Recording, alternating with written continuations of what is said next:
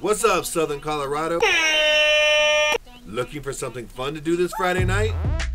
Well, look no further, because the Fox Theater is putting on the biggest, best, biggerest, bestiest comedy show that the Berg has ever seen. Mo Alexander returns to the Berg, and this time he's bringing some friends and a wild new comedy act full of energy, insults, and a whole lot of fun. Best to leave the kids at home on this one, because it's gonna get crazy. Get your tickets while they last at foxtheaterwalsenburg.org. It's Mo Alexander and Friends this Friday, 7 o'clock at the Fox Theater in Walsenburg. You don't want to miss this show, so get your tickets now